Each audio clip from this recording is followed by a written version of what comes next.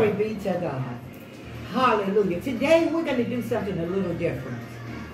I am always interested in getting knowledge to you the best way I can.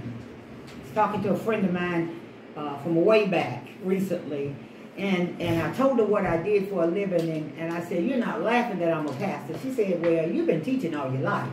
Even in middle school, you was teaching us. In high school, you were teaching us. So you've always been teaching.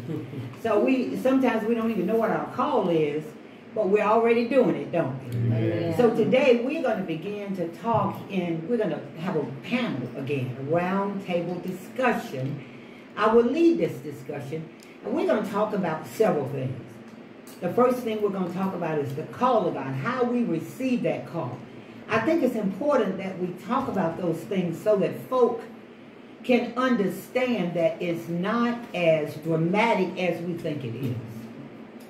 And that perhaps God's already called you and given you your assignment. You just got to get up and go do it. And stop waiting on God.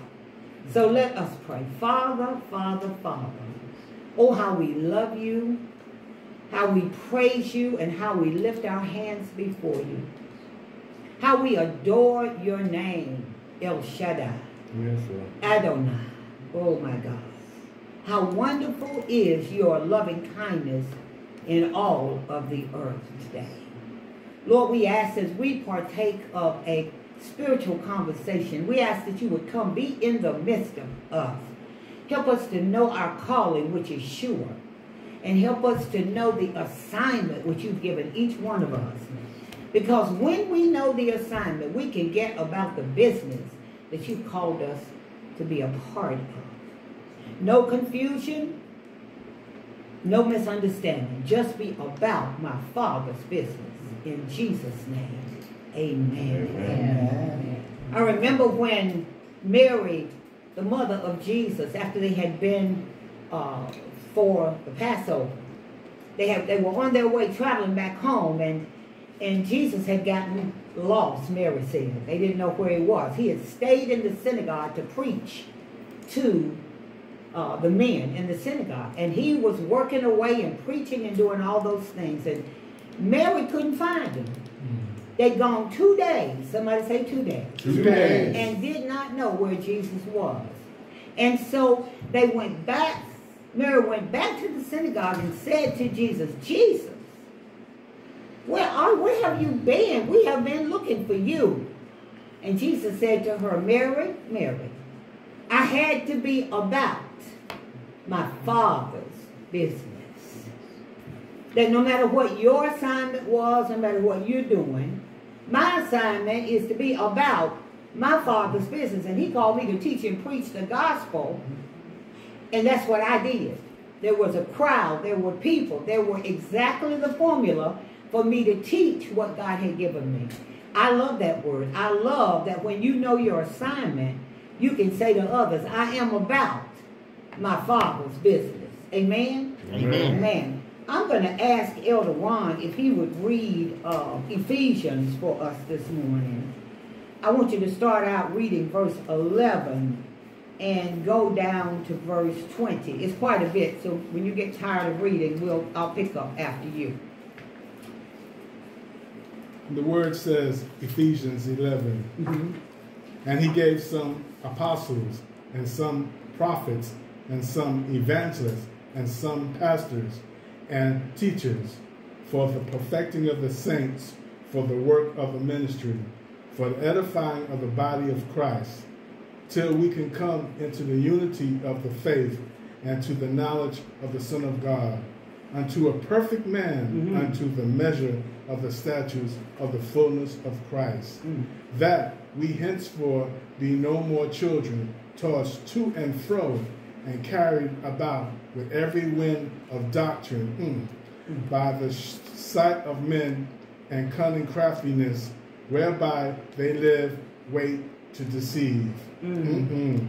But speaking the truth in love, Mhm. may grow up into him in all things, which is the head, even Christ, Mhm. from whom the whole body fitly joined together and compacted by that which every joint supplieth, according to the affectional working in the measure of every part, making increase of the body unto the edifying of itself in love. This I say, therefore, and testify in the Lord, that ye henceforth walk not as other Gentiles walk in the vanity of their mind, having the understanding darkened, being alienated, um, Alienated. mhm. alienated from the life of God through the ignorance that is in them because of the blindness of their hearts heart, yes. who being past feelings have given themselves over unto lasciviousness to working uncleanness mm, with greediness. 20. But ye have not so learned Christ. Amen. You don't know nothing about Christ. Mhm. That's what you're doing. Amen. Amen. I want to uh, lift out verse 11 to you because there has been, as many things have been, Mother, there has been such confusion in the body of Christ concerning the spiritual gift or the fivefold ministry gifts that God has laid upon the church. God gave this to the church for oneness. Somebody say oneness. Oneness. He gave these uh, these different gifts because each gift has an assignment. Somebody say assignment. Assignment. Oh, this is good this morning. Every gift is not the same. Every gift will not work in another person as it works in me. So if I teach differently, it doesn't mean that the next person is not teaching correctly. Mhm. It simply means as long as they're giving you the essence of what the Word of God is saying, it means that they may have a different style, a different way. Some hack, some stomp their feet, some hold their ears, some do a lot of things. But the most important thing is, The are we conveying the Word of God Word of to the people of God? Amen. Amen. Amen. Let me say first of all that every one of these gifts were given to us for, for, for number 12, for the perfecting of the saints. The gifts were given to you and me, not for me, but for the body. My gift was given to me to be used to perfect those that I come in contact with. Mhm. Your gift was given to you to perfect those that you come in contact with. Are you hearing me? Amen. The apostle has not passed away. I repeat, I'm like on a microphone in the principal's office. The apostle and the prophet have not passed away. Amen. They are still spiritual gifts that are in operation today. If your church is not operating in it, that may be a doctrine that you all have selected. But just because you don't have it in your church don't mean it has passed away. Mhm. I just need to say that right now. And I got documents to prove it. Because I'm an apostle. And God called me to that position. And I told him I wasn't that. He says, You've been operating in that gift for many years. You wait until the time comes and I will have you anointed to that Mhm. gift. And he did just that. It took three or four years, but he finally got me to the place where I could walk under the anointing of the apostleship. Are you hearing me? Amen. He gave some to be prophets. There are many, many false prophets out here today. Yes. Amen. There are Yes, many it false is. teachers. But you see, the gift of prophecy uh, in the word, in, in the fivefold ministry gift, is harder for you to discern than it is a, a preacher. Because you can follow me and tell whether I'm giving you the scripture correctly or not. Mhm. But I can come to you and say, Thus saith the Lord for you. And you don't know whether I'm telling the truth or not, except by a discerning spirit. Yes. Are you with me today? Yes. And so all of a sudden has come up these prophets in these last and evil days, and some of the words they're preaching are just plain lies. Mhm. Plain lies. Are you hearing me? Amen. Then you have the evangelist, which is still here and not being used to its fullest. Every Sunday morning, we ought to be out witnessing to people to bring somebody to church before service. We ought to be trying to. That is the most impactful gift right now in the ministry. It's the evangelistic ministry. The evangelistic ministry is here to show us to take us where we need to go, to show us that there is a place. Yes. I know a man. Come with me. I'm not the way, the truth, and the light, but I know who is. And oh, by the way, let me tell you what he's done for me. We overcome by what? The blood of the Lamb and the word of our testimony. So our word has to be scriptural, spiritual. And we got to give that testimony to show that only God could have done that for us Yes. through the person of Jesus Christ. And so we know these gifts are still in operation. We know that the pastor and the teacher is still here because I'm here. You know I teach, you know I pastor. So those gifts are still in operation. There are many that say that apostleships passed away with Paul and those, and when they left, the, the apostleship left. But the scripture says that heaven and earth is going to pass away. Yes. But the word of God will never pass away. So what God has spoken in this word through others will not pass away. For those of you who say that the apostleship is the Old Testament, let me tell you that the book of Ephesians is a New Testament. Amen. And Paul was in it. So if Paul is an apostle of the New Testament and those that are with him, then New Testament prophets are still in existence today. Are you hearing me? Beware of the prophets.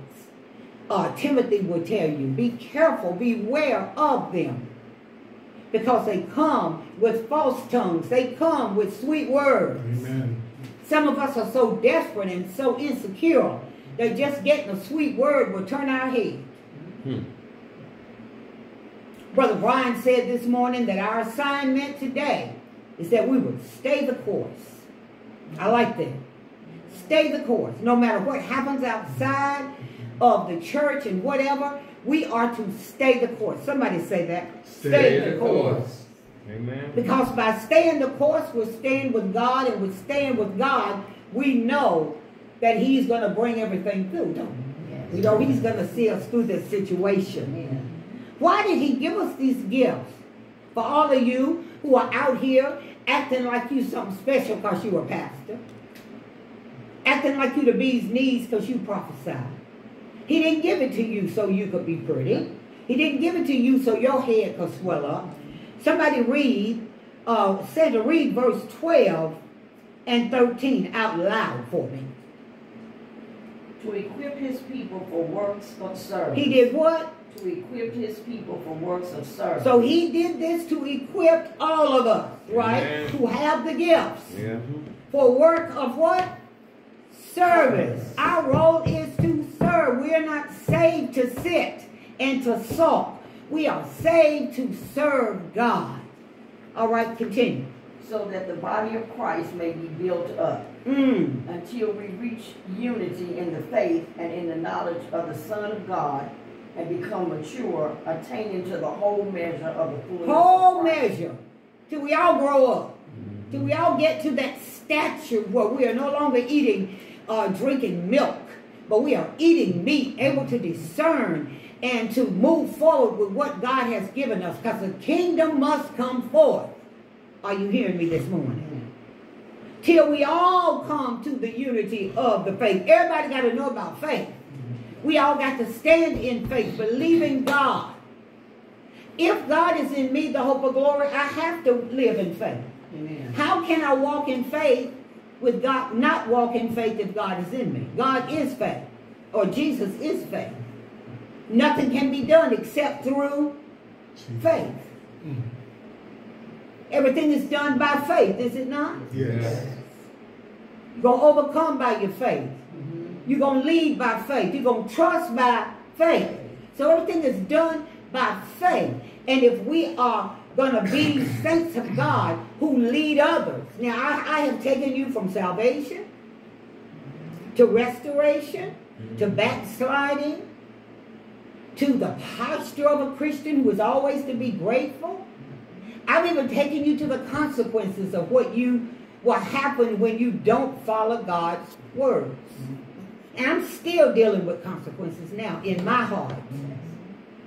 That everything I do will be judged. Yes. Amen. Everybody God don't need a little book. He, he, he knows. He keeps account of what we've done. Are we progressing? If I did that two years ago, am I still doing the same thing? Then I'm not progressing, am I? No. Nobody should have to tell me I haven't grown. I should be able to see that I'm doing the same thing. And if I keep doing the same thing, I keep getting the same results. Mm-hmm. Amen? Amen. Until I come to the unity and the knowledge. God wants us to know what he has given us. He's given us great and precious promises that are for each of us by faith if we simply believe. Number 14, this is why he gave it to you. I'm just giving you an overview now. Why did he give us these gifts? Everybody didn't get the fivefold ministry gifts, and that's okay. You got spiritual gifts, though. You may have the spiritual gift of prophecy where God at any time can give you a word of prophecy, but you don't sit in that office. Because the prophet or the prophetic is an office. Like you go to your office every day. I'm a pastor. I have hours. I stand in the office of the pastor. God may give you a prophetic word, but you don't have to be a prophet. There are times when God just gives us words because he knows that we will take that word forward. So I'm, I'm trying to deal with you this morning about where you are in your life, in your ministry. Many of you have not gone back to church, or you have been slothful in how you go back to church. You might go because somebody said something to you about it, but you're not really there. So when Brian, when Brother Brian said this morning, I hear the Lord saying to us, that we must maintain the course. That was a prophetic word. Yes. Yes. We must stay the course. Maintain the course. Don't get off our course. Mm-hmm. Do we know where God is taking us? We should because I'm constantly telling us. And if we know where we're going, we know we're going by faith in Jesus Christ and not by our sight. so why? This is the last piece to this. Why is he doing that? He can just leave us out there and let us just go willy-nilly. God wants us to have the fullness. Everything that he desires for us, he wants us to have it. Isn't that good news? Yeah. He wants you to have every precious promise he has set aside for you. Verse 14 is pivotal. Why is he giving you so you'll have the statue of the fullness of Christ? That we henceforth no more. Somebody say no more. No more. Be children tossed to and fro and carried about with every wind of doctrine by the sleight of men and cunning craftiness, whereby they lie in wait to deceive you. Mm-hmm. Because you try to intellectualize God with what you think you mm. know and you don't even know it. Let the Holy Spirit tell you what God is speaking to you so you don't get it wrong. I, I, am convinced. Why? And I think I said it last week. I talked about worship and the sweetness of worship and the and the love of God that comes forth through our worship to Him. And I kept asking God, why do most churches not go into actual worship? Mm-hmm. Is it because they don't have enough time? They got a second church service and they got to be out by this time? Or God is because the people don't want uh, the pastor to take too much time in worship and praise? And God said, no. It's because of fear. They fear what happens when you enter into the presence of God. Hmm. They don't know what happened. You remember when Moses went to the went up to God and came back, and those idiots had had, had made some uh, statues and idols before God. Mm-hmm. God got angry with them and said, Moses, tell them to come to the edge of this mountain and meet me there. They got together and said, no, we're not going to meet God. Moses, you're going to meet him for us because he mad. Mm-hmm. They knew enough to know they had upset God. So Moses, you go in our place and meet God for us. Because we don't want God to do to us what we know we deserve. Is anybody listening? Amen. There is great knowledge in the Word of God that we get when we walk according to where God has told us to go.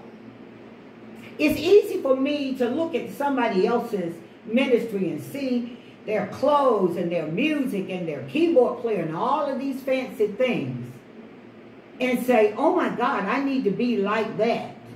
There's always a propensity to be like somebody else, isn't it? You may say, oh, I don't want to be like them, but you like what they're doing. And in order to, to, to, be, to do what they do, you got to be like them. But that is not God's best for us. God's best is that he pulls out of me the best of me. Amen. Are you hearing me this morning? Amen. And that is what God wants for each one of us. So the fivefold ministry has a purpose here. A great purpose. Then Elder Woods came behind Brother Brian this morning. They were prophesying. And Elder Woods said, I agree with Brother Brian because the world has gone mad. Hmm. We've gone to hell in a handbasket for all practical purposes. Every day there's a death. There's a strange killing for no reason. We value no one's life. We mm-hmm. place no value in human life anymore. Mm-hmm. And so God has now given us over to a reprobate mm-hmm. mind to do the things that we ought not to do. Anybody ever heard that scripture Yeah. before? Yeah. This is what we're doing as a as a body of Christ. Many of these people are Christians that are doing this and doing it in the name of Christ. Hmm. When they ran up in the uh, uh, uh, Capitol and they broke in and they were standing before Nancy Pelosi's desk and they raised their hands and say, "We invoke you, Jesus Christ, in this place." How you going to invoke the name of Jesus with what you've just done? Very good. Mm-hmm. There is madness going on, sickness going on, all kinds of evil works are going on. And I say to you, it will not get better. The purpose of our prayers is that God will protect the saints. Is that God will continue to bring into the kingdom as we go out those who need to be saved. That young man said this morning, pray for me. The next question would have been, are you saved? Are you walking with God? You could have been there all morning long ministering and had church right there. Are you hearing? Because everybody that says pray for me don't know the Lord. And it's an opportunity that God has given us as saints to go before him and to help people see who Christ is. So there is a calling in your life. Ephesians talks about the calling. It talks about preparing God's people to serve. What ways can we serve the body of Christ? Remember, we're doing it in the name of Jesus, but we're serving God's people. How do we serve God's people? Anybody have an idea how, how they serve God's people? Serve those who are sick in the hospital. We serve those who are sick. That's service in the name of Jesus. We go, uh, and, and if we know the Lord and believe in healing, we go in the name of Jesus to heal. That's service. What else is it? Help the unsaved. You, you, you, you can't help the unsaved, but you, can go get Go them. get them. Yeah, you go try to bring them in. Yeah. Yeah, that's a big one. Anybody else know any way to serve God? Because if you don't know how to serve God, you certainly won't know your God. What else do we do to serve God? Help the poor. Help the poor. Help the downtrodden. When I was hungry, you fed me. Help the homeless. When I have no place to live, you clothed me and gave me shelter. Yes. This is God. What we are now and should be is we are the arms of Jesus right now here on earth. Why? Where is He? In me, helping me to move forward and do those things. Is everybody with me this morning? And while we're doing it, we're building up the body of Christ. We're building them up. We're not looking at what they don't have and the negativity in them, mother. We're looking at greatness coming out of them. You can look at a person and God will tell you what to say to that person to help bless them. Are you hearing me this morning? Amen. Hmm. Because in order to, to win these people, we got to bless these people. There's an old saying, if you give me a fish, I'll, I'll eat for a day. But if you teach me to fish, I can eat for a lifetime. So our job is to teach people the ways of God and the Word of God so that they may stay connected to God on their own. Are you hearing me? And we're doing it for the unity of the faith. We're drawing people to God. What was it in your life that has has moved you to the point where you know that you must walk by faith and not by sight? Huh? What is it that's happened in your life? Has anything happened? Let me put it that way. I have, I can say longevity for me. Longevity has told you Yes. That you got to walk by faith. And, and longevity, you mean age-wise, Yes. Yes. that God has, Kept me. he, God has kept you, Yes. and that's why you walk by sight. That's right. I mean by faith. Faith. Yes. Yes. Anybody else? What is it? He didn't have to do it, but he did. Yes, he did. He did. He did it. hmm Anybody else? He protected me. There are many situations I look back in my past where I should have been dead. I Mhm. know I should have been dead, hmm but I know God had His hand on me, Yes. And, he, and, and, and the angels that I know the Word said He sends to us, hmm you know, protected me from that bullet when it went past my head. Yes. Mhm. Yes. Thank you, Jesus. Yeah. Old song says, God has smiled on me. Yes. He has set me free. God has smiled on me. He's been good. He's been good to me. Because he's been good to you, you need to walk by faith. Right. Trusting in his holy word. Why? Because he's never failed me yet. Yeah. Brought me out of darkness. Brought you out of darkness, didn't he? Yeah. And when we begin to think about these things, our soul begins to wake up, doesn't it? Amen. When I think of his goodness and all he's done for me, I can dance, dance, dance all mm-hmm. night. Because I recognize that it wasn't anything I've done. I mm-hmm. recognize it was his goodness, his mercy, Yes. and his love that has set me free. Yes. I tried it my way. Yeah. I couldn't do it. The more I tried, the worse it got. You ever tried, tried, tried something and said, I'm going to try it this way. Mm-hmm. And it kept failing? Mhm. What does that tell you when something keeps failing like that? Doing something wrong. Time to go another way, isn't it? Yeah. We need to speak a little louder because Turn we're around. trying to, uh, Mhm. yeah, for people to hear us here. Time to turn that thing around, isn't it? Somebody looking right now under the sound of my voice, listening and seeing me, knows that it's time to turn that thing around. Yes. Whatever it is that is impeding you, you need to begin to walk by faith. Because without faith, it's you're not gonna please him without faith. Yeah. No matter how much tithes you give or how many people you bring to church or whatever you may do, if you don't do it in faith, God's not pleased with it. Yeah. Well, why? I did everything else. He said, no, we have to do everything he says. He didn't say you can do everything except walk by faith. That's the pivotal thing that we must do. Why is it so difficult? Do you believe? For us to know Christ, to love Christ, and then at times not be able to lift ourselves up to walk by faith.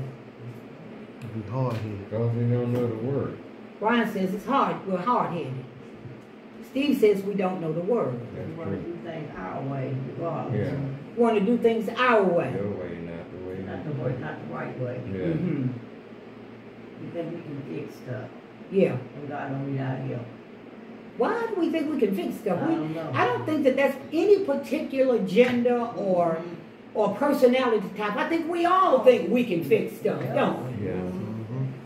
I got this one, God. Mm-hmm. No, you don't. Yeah, I do. I got it, God. No, you don't. You ain't got it. You don't have it. For we walk by faith, Not by Not not by sight. We walk by a God that we cannot see, holding on to a promise that we've heard. Yes. That he promises will come into fruition for my life. So I'm hoping on a promise. We are hoping on the promise of. But the good news of that is that he's already shown you samples of what he can and has done for you. Has he not? Amen. Amen. Anybody ever been at the last leg and, and, and about to give up on something when God came through right on time Amen. Amen. and showed you exactly what he meant when he said, Be still and know that I am God. Yes. Be still. Don't move. Don't don't get off course. Act as if what you asked me for don't mean a thing, because I've got it. When you bring it to me, I've got it. Somebody say I've got it. I've got it. And if he's got it, he's got it. He don't need you to help him. Yeah, you do that. And he will perfect those things that are concerning us, won't he? So now, here we are. We are, we, we got our ministries. We're here to serve. That's what we understand. See, when I was growing up, nobody ever told me that I became a Christian to serve. Mm. I was told I became a Christian so I wouldn't go to hell. And that's a part of it. And so consequently, you have many, many people today who do not work in the ministry because they would they never understood what their role was once they got saved. They didn't understand that working out that salvation part. You got to work out your salvation. Uh-huh. You got to find out what it is you've been saved for and to. And then you got to go to work and do that. Uh-huh. I can't do it for you. Nobody can. Only you can do that because you're the one God gave it to. Are you hearing that? Amen. He gave it to you to build up the body. Your piece is not to run anybody down. Your part is not to talk about how fat somebody has gotten or how thin somebody has gotten. God put you in position to build up. Somebody say build up, Build up. Not tear down. Amen. not tear down. Thank you, Elder. Yes. To build up the body of Christ. If you can't find nothing good to say, don't say nothing. Mhm. Mm. Why are we doing it this way? Because when we do it God's way, we bring unity. Woo! We bring unity in faith. In faith, it's by faith that we're going to unify. Elder Woods got his gift, and he's beginning to operate in that gift. And once he starts operating this gift, we'll know what it is, won't we? Uh-huh.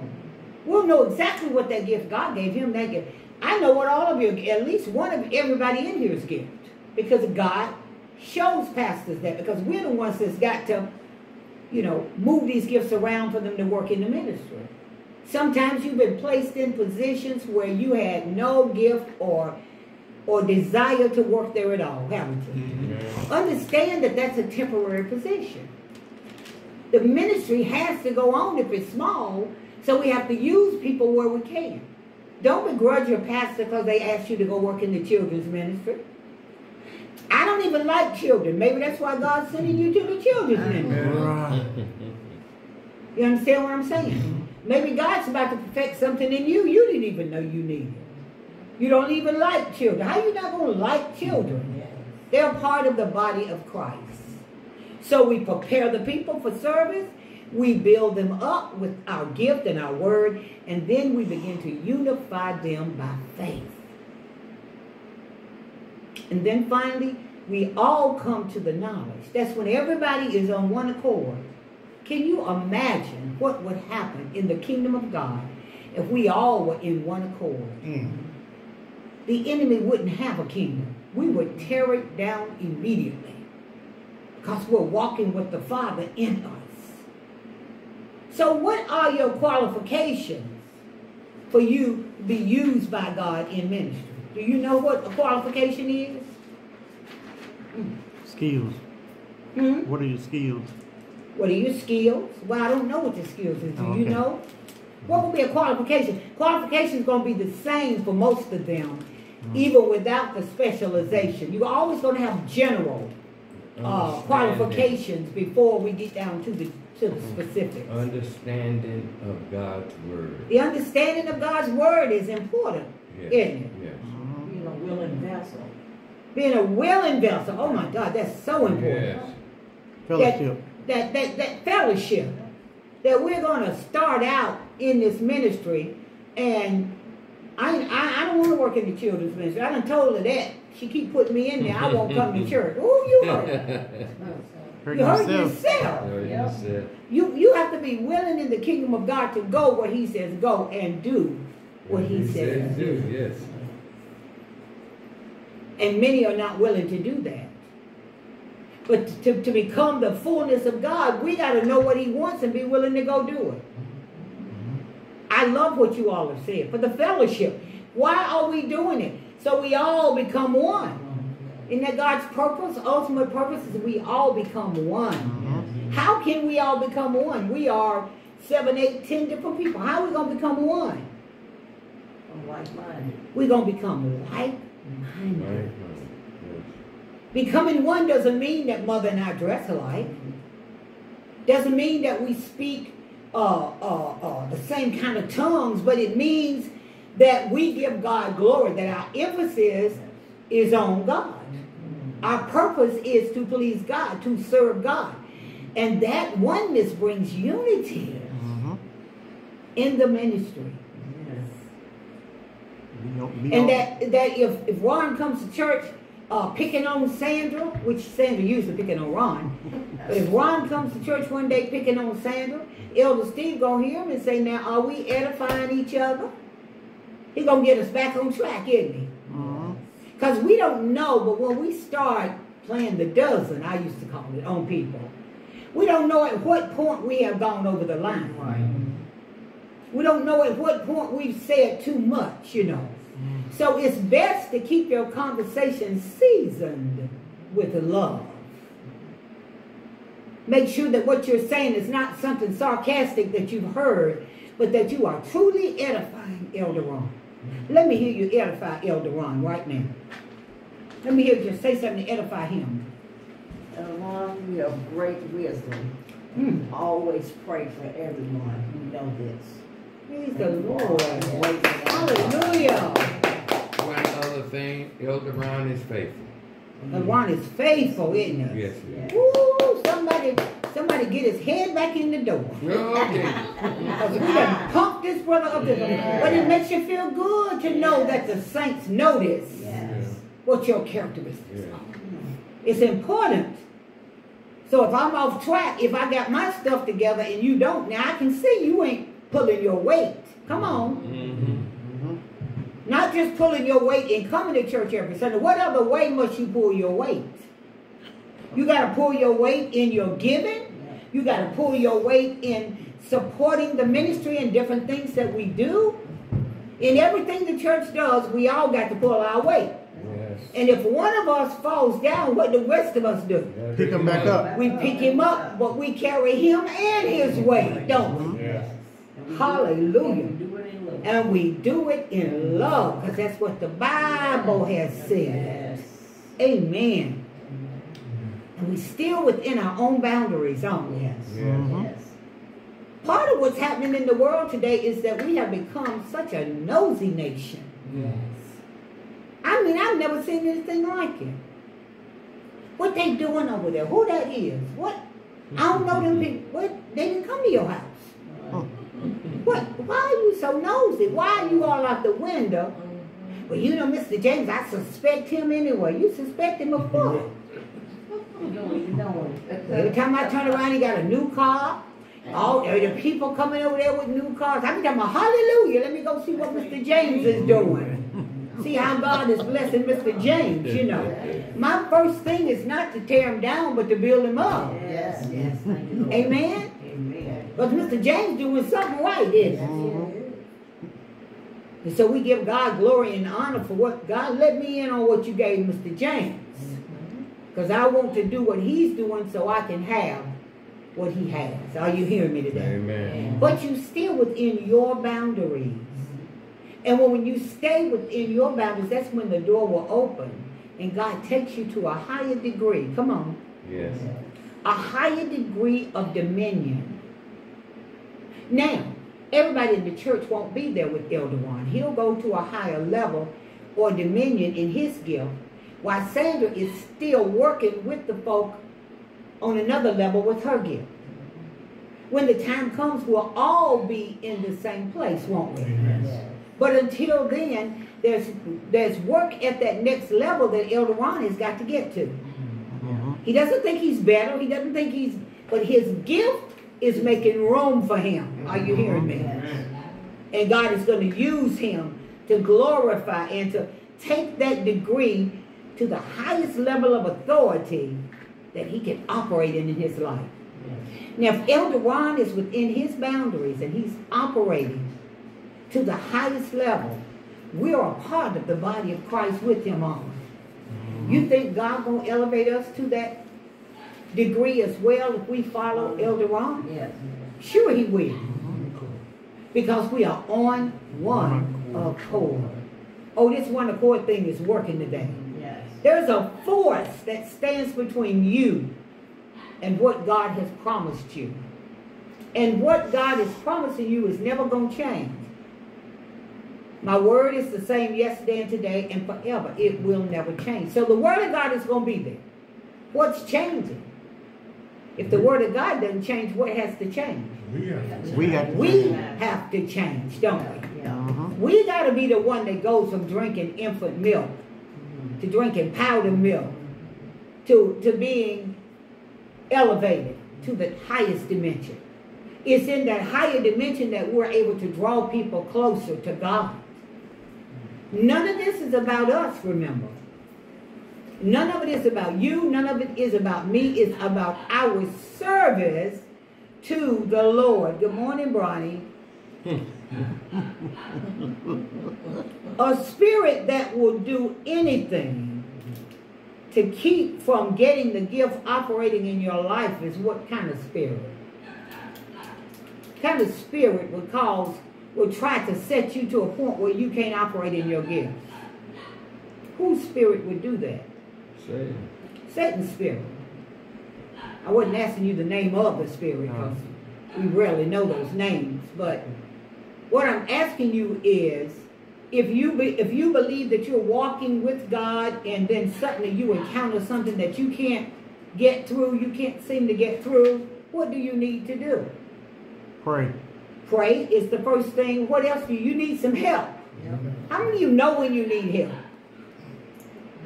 You got to understand that every spiritual assignment, you don't necessarily need to do it by yourself.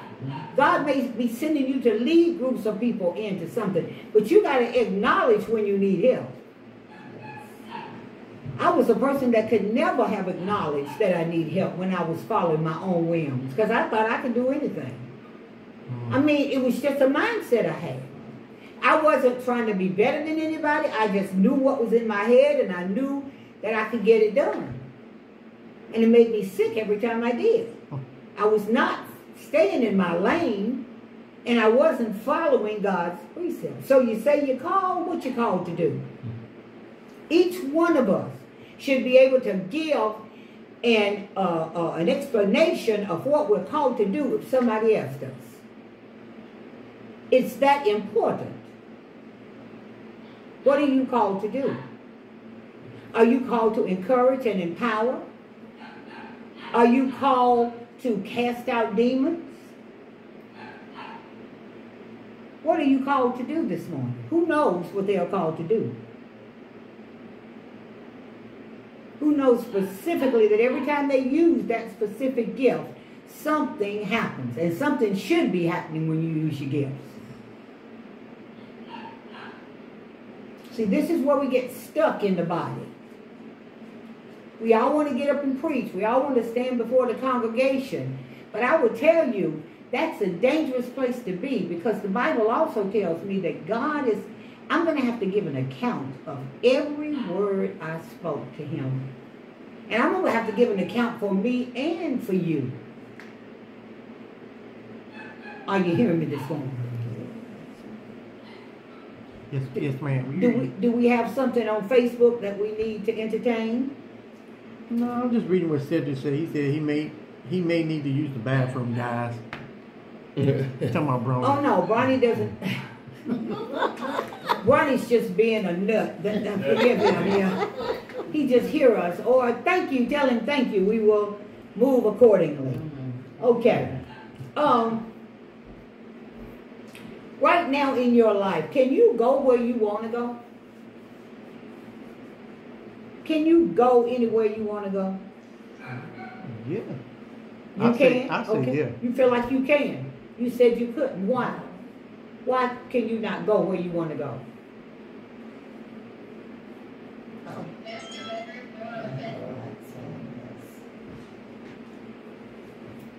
Because for, um, God is not gonna let us go for so far, Yes.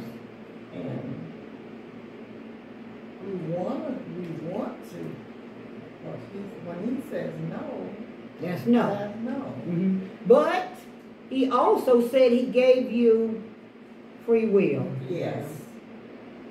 I wanna do it. He gave you free will to do what you want to do. He said, but choose. He told you the right way to choose. Choose life. Right. Get, he put before you life and death, blessing, curse. For you, for those of you who don't know that, go to Deuteronomy chapter 30.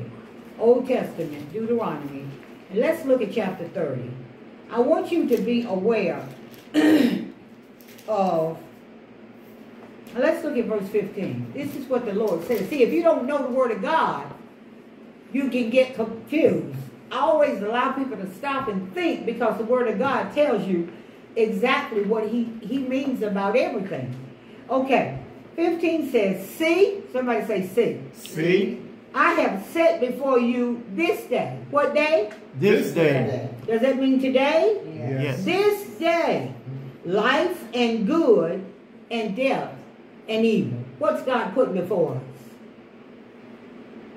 In your own words, what is He putting before us? Life and death. Life and death. I'm putting before you a way to live and a way to die. Okay?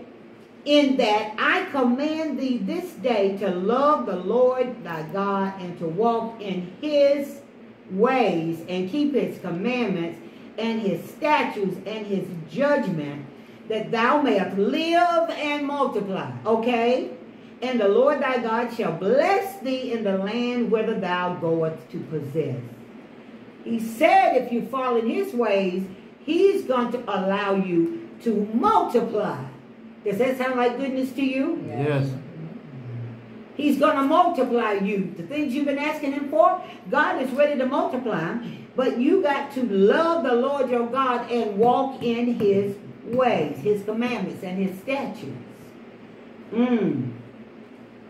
And then I shall bless thee in the land whither thou goest to possess. Wherever you go to possess it, I'm going to bless you there. Why? Because you followed me. Mm-hmm. 17 says, But if thine heart turns away, so God is looking at the heart, isn't he? He wants your heart to be for him. Because if your heart is not for him, you're not for him. You can talk yourself into doing something for God, but your heart is not for him, God. Your heart is a condition. It's something that has a condition. God, a godly heart condition, or you have an evil heart condition. It says, But if thine heart turns away, so that thou wilt not hear me, but shall be drawn away and worship other gods and serve them. Verse 18 says, What, Elder Ron? I denounce unto you this day that ye shall surely perish, and that ye shall not prolong your days upon the land, whither thou passest over Jordan to go to possess it. I call heaven and earth to record against you this day, and you've heard me say it as I lead people to Christ, that I have set before you life and death, blessings and curses. But this is the best part. Therefore, choose life, that both you and your seeds shall live. Following God brings life. Doing the will of God brings life, not death. It causes a heart to have an open heart. And it's like God is giving you open heart surgery. Your heart is pliable before God. But if you don't, hmm. I'm going to just do it my way this time. Now you have stolen, you have literally stolen the blessings from your people. Because he's telling you wherever you go, I'm going to bless you. But if you don't follow in my ways, you're not going to be blessed. So you're stealing blessings from your very family. Because you're going the wrong way. How do you feel about that? About blessings of God.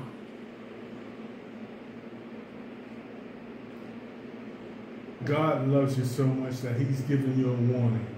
Yeah. He's give, we have we are, we have a choice, but the thing is, God didn't leave us out there. Yeah.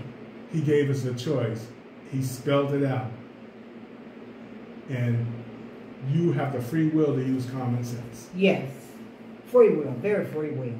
I wish I had this in another version because it's so important how he is talking to the people and sharing with them what he is going to give to us. Now, anytime you see blessings, that's what he's going to give you. And you don't know what the blessing is going to be. But I promise you, anything God is going to give you is far greater than anything you have or could ever want. Hallelujah.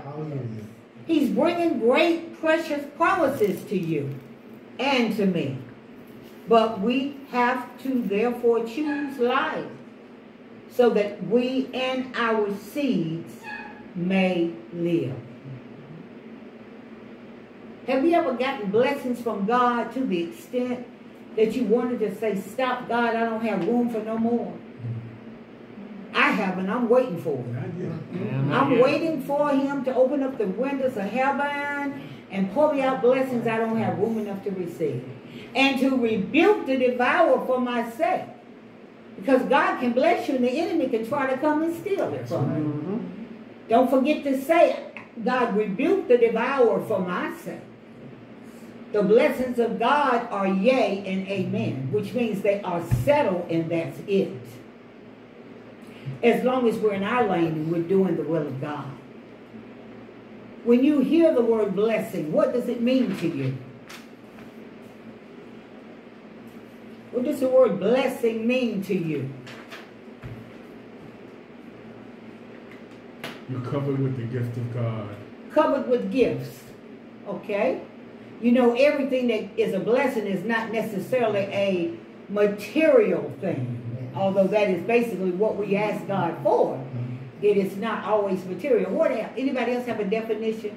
One word for blessing, or however many words you have.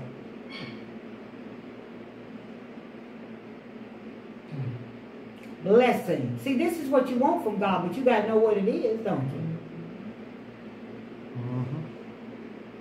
When I think of blessing, personally, I think of the word abundance. I think of abundance because I'm envisioning, and this is this is where it could help you. I'm envisioning the windows opening to me, and blessings being poured into my home, and my home is being overflowed with God's blessings. Now, you have to be able to see it to be it. Mhm. And to receive it, you got to know that it's a fact. I'm still talking about faith in God. Because we want God's blessings, but do we really believe that God's going to give them to us? Can you believe that God's going to do for you what you've seen him do for others? You guys look like you're thinking.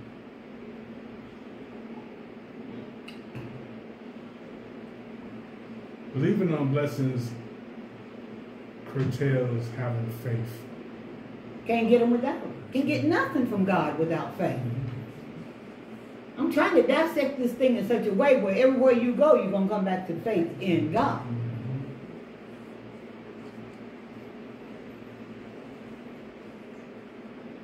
And God loves us so much that He's willing to bless us even though we haven't done anything to deserve no blessings. Just do what I ask you to do and I'll bless you.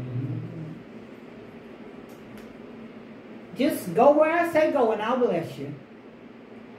Tell who I said tell and I'll bless you.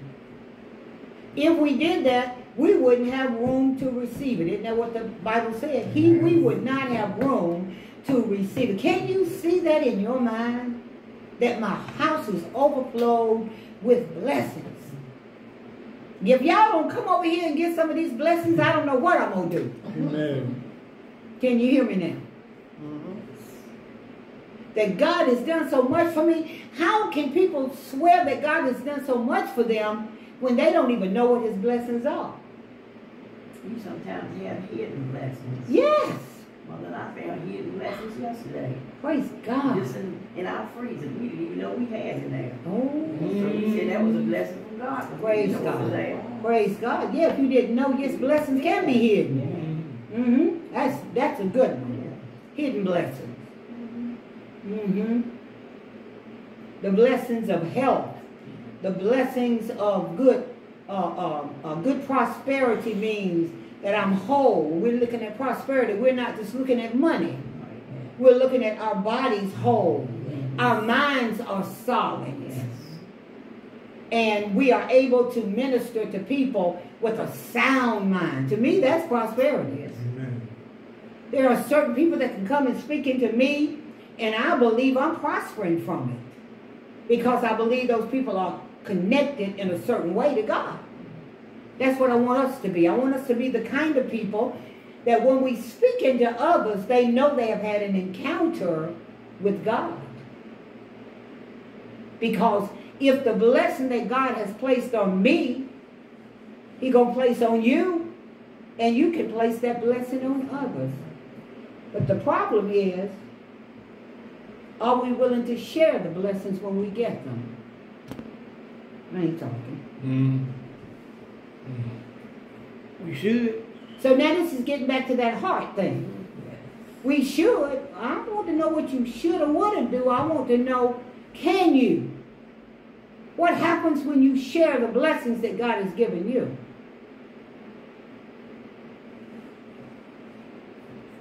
It back to you.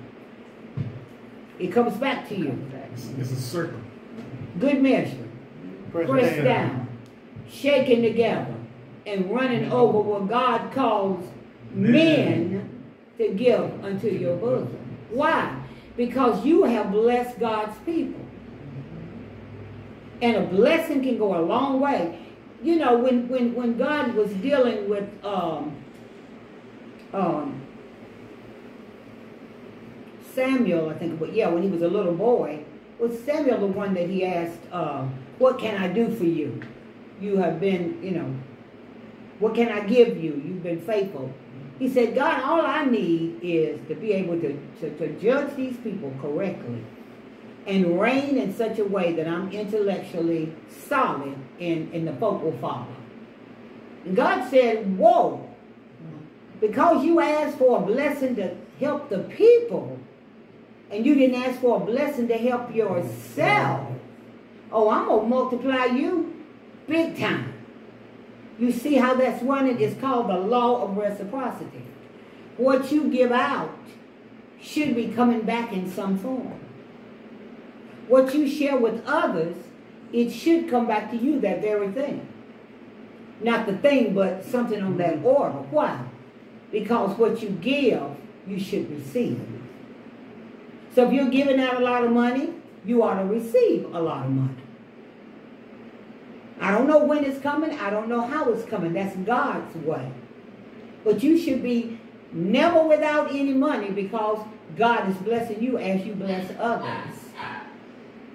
As you are a blessing, God will bless you. God will bless you as you bless others. If he knows that he can depend on you, come on here. How many of you have ever gone and literally blessed somebody? You have? Yeah, Good. Good. Well, how did you bless them? What kind of blessing was it? To be honest with you, um, I've blessed people several ways. Um, one of the ways is my own testimony. Mmm, that's um, Uh, the other one is money. Yes, that's what everybody wants. Yeah, but it's it's like you said.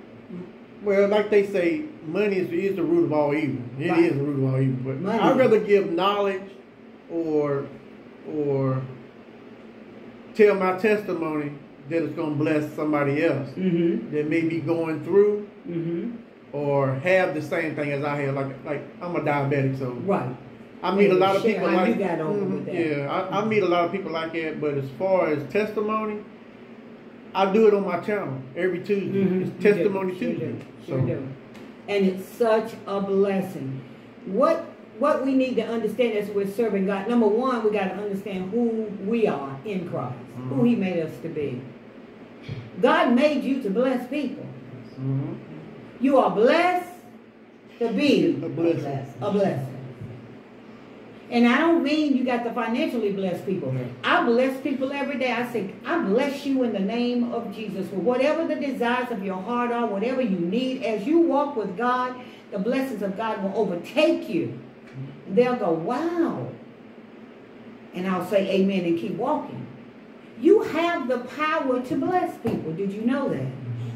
Sometimes a simple hello blesses somebody. It blesses people. Yes, yes, very good. You have the power and the authority to bless people. And the thing I need to leave you with today is that it doesn't it has nothing to do with you, it has to do with God. Mm-hmm. You you didn't give yourself the power. Because have tried to get more than you deserved. Mm-hmm. Yeah. we were blessed by God for what? To be a blessing. To be a blessing, what did I say? The first thing we are to do when we get saved and, and move forward with Christ, we are called to serve. Are you serving somebody when you bless them with finances? Yes. Oftentimes you are, and oftentimes you are not. Mhm. And I need you to be clear on this. I've had to go to God several times because I would bless people so much I didn't have anything. And I said, God, I don't have anything. And he said, Well, that's your problem because you gave it all away. And I said, But I did it in your name and I did it for you. He said, I didn't tell you to bless them. Mhm. I was like, Oh, God. That was a revelation for me. I didn't tell you to give them that. And I said, but I thought you would. He said, no, I didn't tell you to give them that. If I didn't tell you to give it to them, why'd you give it to them? I said, because they said they needed it. Well, people will tell you anything if they know they can get it out of you. Yeah, yeah. Come on now. And I had a string of them that would come. Are you hearing me? And I was given until I had run out, and he let me continue to run out until I learned the lesson. And the, le- the lesson is I give as God has purposed in my heart to give. Are you hearing me? Listen to this, Facebook. Given it shall be given, but it has to be based on God's give, uh, sharing with you, an overwhelming desire to give from God to you. Because God may be trying to teach Sandra something or me something. And here you are blessing me. God may have withheld something from me because I haven't followed in his path. I haven't done what he said for me to do. And he's waiting on me to do what I need to do. And here you come along and bless me. Because you have not consulted with God as to whether you're doing the right thing. Has anybody ever done that? Mhm. And so God says that we have to wait. Y'all forgive us today. We're still training a uh, little puppy. I'm going to bring him in here so you can meet him. Maybe he'll be quiet once he sees you guys.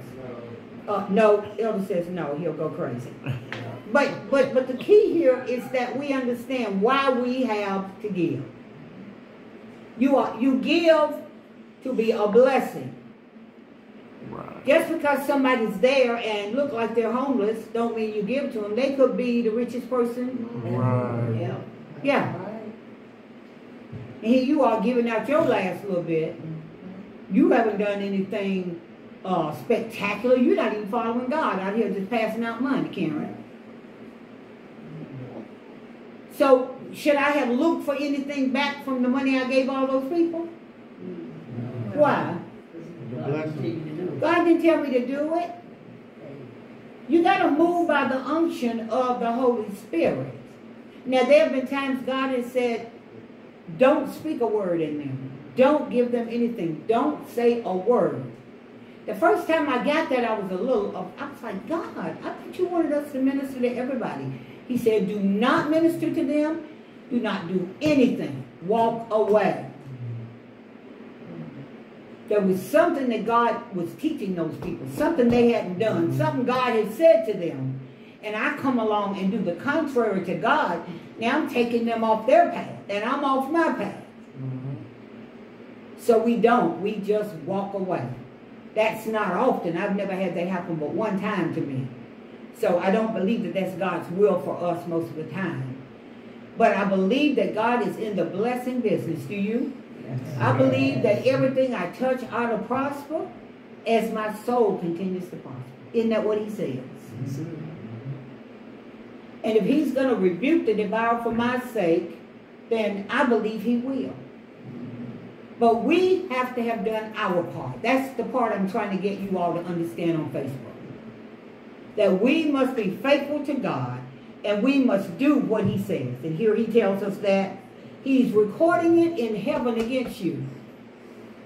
What does that mean? I call heaven and earth against you this day that I've set before you life, death, blessings, and curses. Therefore you choose, so that you and your seeds may live. What is he saying to us in that statement?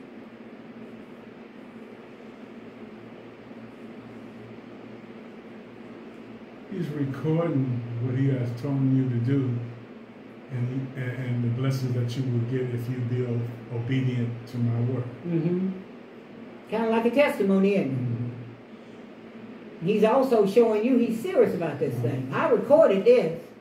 It's going to be in heaven and on earth. And other things that you didn't do. Yeah, but he's got a recording on all that. Mhm.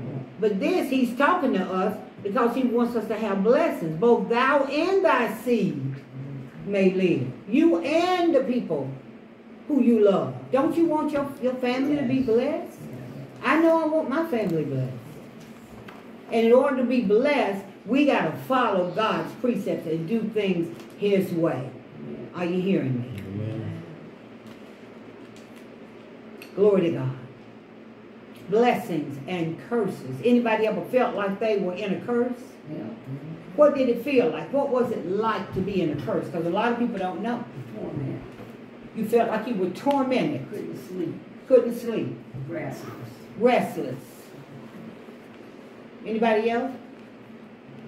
There was no joy, No joy. happiness. No joy, no happiness. Oh, that's good. Go for it. Yeah. You knew something was wrong, didn't you? Was your first thought that I hit- haven't done anything that God told me to do, or was your first thought to blame somebody else? Putting blame on somebody else. Uh huh. Mhm. Wasn't me. Wasn't me. I'm doing everything God says to. do. Mhm. Blessings and curses are sitting right on this table. And you got to pick up which one is going to be for you. And then once you pick up life and death or blessings and curses, he expects you to follow it. Not just pick it up for yourself. You think God is stupid? He knows whether you're doing following his precepts or not. We have to be obedient to what God has said that we were supposed to do. So, God has uttered words to you. How many of you know your calling in here? Okay? What do you think you may be called to do? Anybody? I'm called to serve. You're called to serve. In what capacity? I know you're leading prayer. You and Ron are leading prayer. Yeah. Praise and worship. Praise and worship. You're called to lead praise and worship. So, so you're called to serve Serve. in the area of uh, of the gifts of uh, ministry. Yes. Who else? What is it you love to do?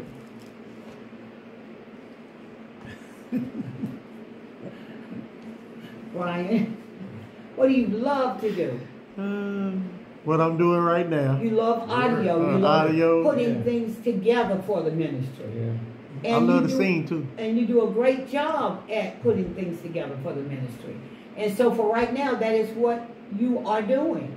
You also like to testify. You, you, you, you're moving in the evangelistic area is what you're doing. You're moving as an evangelist. Because every time you go out and witness to somebody, you evangelize. Mm-hmm. Helping others. Helping others. So you believe you're part of the help ministry. Mm-hmm. Mm-hmm. And praying for Yeah, praying for, that's part of the help too. Part of the help ministry. Listen, get in your place and stay there. Don't move till God moves you. Because God will do the elevating. God elevates us to a new position and a new level. God will typically not call you to be over the kitchen all your life because you can cook good chicken. No matter what pastor says, you need to come about that kitchen sooner or later. Come on. Mm-hmm. Maybe God is calling you to be an usher. Typically, people who are in the kitchen ministry typically are not outgoing people who like to talk to people. Mm-hmm. They like to be left alone to do that work. Now, if that's the case, and God has called us to be fellowshipping one with another, what do we have to do with the person who is an introvert? What do we have to do with them? Introvert is one who stays in, doesn't have a lot of interaction with other people. What do we have to do with them to mm-hmm. get them to be a part of the, the, the calling together? I guess you have to train them. You gotta get them out the kitchen first, don't you? Yeah. That's gonna be your problem, getting them out the kitchen. You gotta pray them wanna out the kitchen, mother Yeah. say. You got to pray them out of the kitchen. They've been there so long, they have established, don't let them help establish it. Mhm. And been cooking for pastor for ten years. And you trying to take me out Can't of my away job. from them. Because we see a position as attached to us, rather than God and service being attached to us. Are you hearing me? Amen. Amen.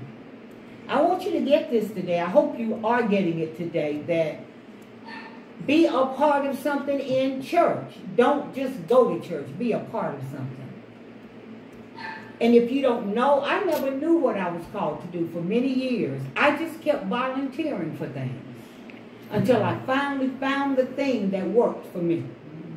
And that happens sometimes that you have to just keep trying until you go into something that really starts stirring you on the inside. And God will show you that that's what you're called to do. Well, I have to say, I have to say, Steve. Uh, I have to say that when I first got into church, good, got baptized, and because you know we live beside the church, so my mom was keened in on you going to church, you gonna go there and do something. Everybody to go Yeah, to church. So I started off being in junior missionary, Yeah. and then it it, it went from there to I, I told myself I want to usher. Okay. ushering. I didn't do audio for a while. Okay. I done everything else, sung in the choir, you know, uh, right hand pastor's man, you know, I done all that, and but then you it was never like thought about doing audio. I never thought about doing audio until I got trained for it at, at First Baptist back Right. home, and I was like, man, this sounds, this looks pretty good. Mm-hmm. Then we was doing the camcorder. Back then it was camcorders. Yeah. I was filming. Then I was like, you know what? I'm gonna try this out. Mhm. And then when I come to New Creation, Yeah. when I first moved out here, I was audio. Yeah. So now I'm still stuck in it, but don't get me wrong though. If God tells me He want me to usher today, I'm gonna train somebody else to do this, and I'm Yeah. gonna usher. Yes. Yeah, you know, I, I want to do a lot of stuff in the church. I don't want to be behind the scenes all the time. I want to be in front of the scene sometimes. Now that's a good question because there are people who say I'm introverted and I don't want to be in front of uh, a Uh-huh. camera. They're missing their mark. They're Mhm. missing the mark because they are making a decision about what they are to do instead of letting God put you. You are there to serve. God is putting you in it for service, not for you to do what you want to do. And people who are introverted typically won't want to work where they got to be around a whole lot of people. You know. So that's one thing that we, we wouldn't have to worry about. Um, so anyway, that is where we are uh, today. So I wanted to cover these areas with you. I want you to think about and begin to pray to God for blessings. For blessings for your mm. home, mm. for blessings for your church, for blessings for your people and others around you. And that is my dog, which I'm going to introduce you guys to right now. If you know how to train dogs, call me, because mine is a King Charles Cavalier, And and he's busy. He's not that busy, though. He's a, he's a sweetheart. He hear you talking, that's what Yeah, it is. and this is my baby, and he is a good dog. Um, but he just don't like to be quiet. He would not be behind the scenes. He would have to be out front somewhere. he is a, I said a King Charles Cavalier. He Cavalier, wants to I? sing. And he wants to sing on the choir with Mhm. us. So And Are they? lay- in- he's laying hands on he's them. laying hands on people. Are there any other comments about the word today of, uh, about what we are called to do as opposed to what we may be elected to do? What's our purpose? Mm. Pastor, you know, um, I always was an usher in church. I always did. I enjoyed bringing people in to the church. To the service, yeah. And why did you enjoy that? Was that because the lady said we all usher or No, you just it thought was just something that I, I. that you enjoyed that that? I And that was good. Very good. Very good. And we have to have those ladies who have good personalities, Yes. and who don't mind working with people because most ushers, a lot of ushers rather, sometimes we need to go back and take some classes. Yes, because they can They can be really Yeah. stiff to be Yeah. rude. But you see now why God has placed us in certain positions? Mhm. Because we gotta learn how to be kind to others. Yes. We can't bring everybody together if we're not on one accord. It takes all of And so bringing us together will help us become on one accord. Yes. You hear me? Amen. Anything else? Anything, Barney, you wanna say? No, he's busy looking. Yeah, Mhm. he's, he's wanting to read now. Yes. Amen. Well, I thank you all for your time today. How much, what kind of time do we have? It's over. Yeah, it's twelve oh eight. Okay. Well, thank you all for your time today and think about it this week, what you are called to do by God as opposed to what you have appointed yourself to do. And God doesn't mind if you go into ministry and start working and doing things. God's not going to mind that. Hmm. But you won't get the optimum out of what God has called you to do. We want you to be in position for a higher calling. So that when God begins to elevate you, you are moving from glory to glory. And not just from position to position. Amen. Amen. Amen? Amen. Thank you all so much for today. And we'll see you next time. Amen. Amen. Look at me.